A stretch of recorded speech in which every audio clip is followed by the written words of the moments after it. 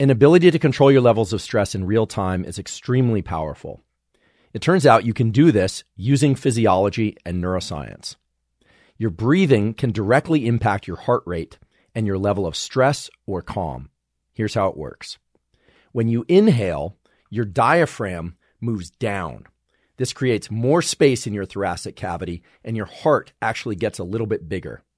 As a consequence, the rate of blood flow through that larger heart volume slows down.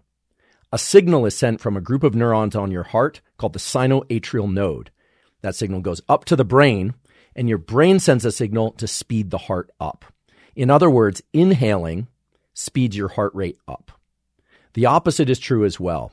When you exhale, your diaphragm moves up.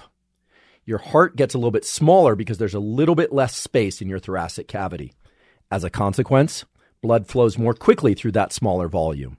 The sinoatrial node registers that and sends a signal to your brain, and the brain sends a signal to slow the heart down.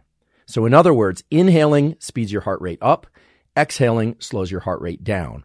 So, if you want to speed up your heart rate and be more alert, inhale more or make those inhales more vigorous, more intense. If you want to calm down, you can do that quickly by making your exhales slightly longer than your inhales or making them more vigorous. This doesn't require any breath work. This is something that you can do in real time. And that's what's called respiratory sinus arrhythmia. That's the technical phrase. It's also the basis of what's called heart rate variability or HRV. But all you need to remember is inhaling deeper and longer will speed your heart rate up. Exhaling longer and more intensely will slow your heart rate down and will allow you to calm down in real time.